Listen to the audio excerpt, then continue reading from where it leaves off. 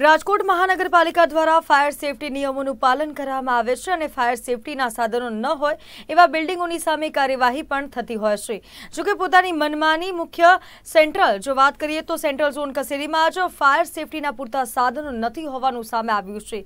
ત્રણ માળની કચેરીમાં હજારો લોકોની અવરજવર હોવા છતાંય ત્રણેય માળે માત્ર બે બે ફાયર એક્સટિંગ્શર મૂકવામાં આવ્યા છે. મહાનગરપાલિકામાં જ દીવા તળે અંધારું જોવા મળ્યું છે.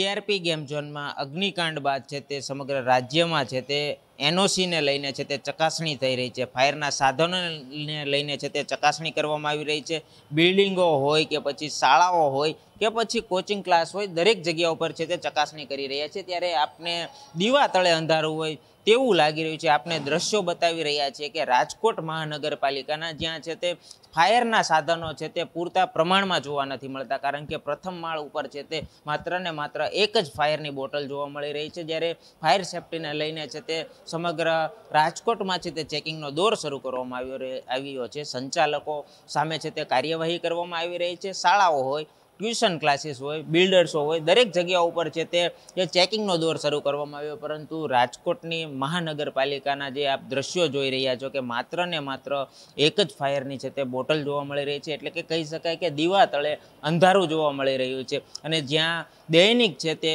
પાંચ હજારથી દસ હજાર લોકો છે તે આવતા હોય છે, પરંતુ ફાયરને લઈને છે તે સમગ્ર રાજકોટમાં છે તે ચેકિંગનો દોર કરવામાં આવ્યો છે, કાર્યવાહી કરવામાં આવી રહી છે, પરંતુ સત્તાધીશો છે તેમની ચેમ્બરો બહાર છે, મહાનગરપાલિકાની ચેમ્બરો બહાર છે તે એક પણ પ્રકારના છે તે ફાયરના સાધનો છે તે અપૂરતા પ્રમાણમાં જોવા મળી રહ્યા છે. ત્યારે કહી શકાય કે કોની રાહ જોઈ રહ્યા છે? અઠ્યાવીસ લોકો તો મોતને ઘાટ ઉતર્યા છે, વધુ લોકો મોતને ઘાટ ઉતરે ત્યાં સુધી છે તે કાર્યવાહી નહીં કરવામાં આવે. તે બાબતે પણ છે તે હાલ પ્રશ્નો ઉઠી રહ્યા છે, કારણ કે મહાનગરપાલિકાની જો ચેમ્બરો બહાર છે, તે અપૂરતા સાધન હોય.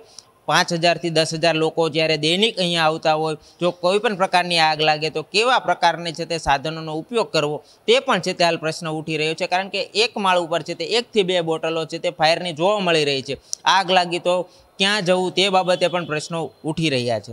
કેમેરામેન દિવ્યરાજ વ્યાજ સાથે વિપુલ પરમાર, રાજકોટ. રાજકોટમાં બનેલા દુઃખદ અગ્નિકાંડને લઈને કોંગ્રેસના મુખ્ય પ્રવક્તા મનીષ દોશીનું નિવેદન સામે આવ્યું.